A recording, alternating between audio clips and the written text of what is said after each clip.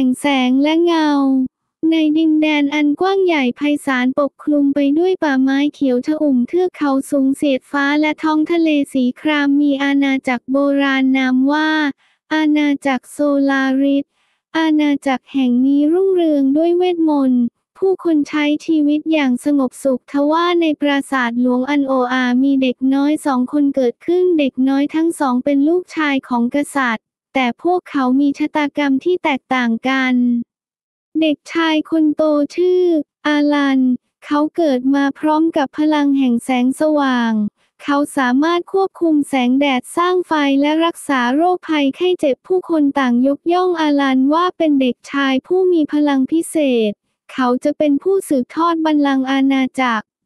เด็กชายคนเล็กชื่อ เอเรน เขาเกิดมาพร้อมกับพลังแห่งเงาเขาสามารถควบคุมความมืดสร้างเงามืดและหายตัวได้ผู้คนต่างหวาดกลัวเอเรนพวกเขาคิดว่าเขาเป็นเด็กปีศาจเขาถูกกักขังไว้ในหอคอยสูงห่างไกลจากผู้คน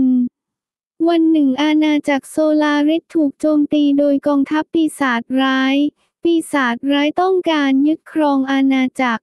พวกมันเผาผลาญบ้านเรือนฆ่าผู้คนและสร้างความหวาดกลัวให้กับทุกคน อาลันใช้พลังแห่งแสงสว่างต่อสู้กับปีศาจร้าย แต่พลังของเขายังไม่เพียงพออาณาจักรโซลาริสใกล้จะพ่ายแพ้ ในที่สุดกษัตริย์ก็ตัดสินใจปลดปล่อยเอเรน เขาหวังว่าพลังแห่งเงาของเอเรนจะช่วยเอาชนะปีศาจร้ายได้ เอเรนออกจากหอคอยสูงเขาใช้พลังแห่งเงาต่อสู้กับปีศาจร้าย การต่อสู้ดุเดือดเอเรนได้รับบาดเจ็บสาหัสแต่ด้วยความกล้าหาญและความเสียสละ เอเรนก็เอาชนะปีศาจร้ายได้อาณาจักรโซลาริสรอดพ้นจากภัยคุกคาม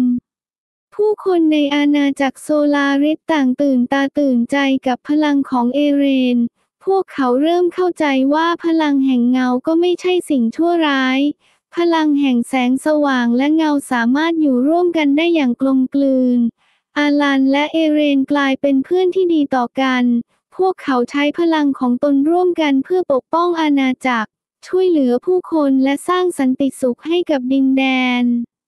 นิยายเรื่องนี้สอนให้เรารู้ว่าแม้จะแตกต่างกันแต่เราก็สามารถอยู่ร่วมกันได้อย่างสันติ มิตรภาพความเข้าใจและความร่วมมือจะช่วยให้เราเอาชนะอุปสรรคและสร้างโลกที่ดีกว่า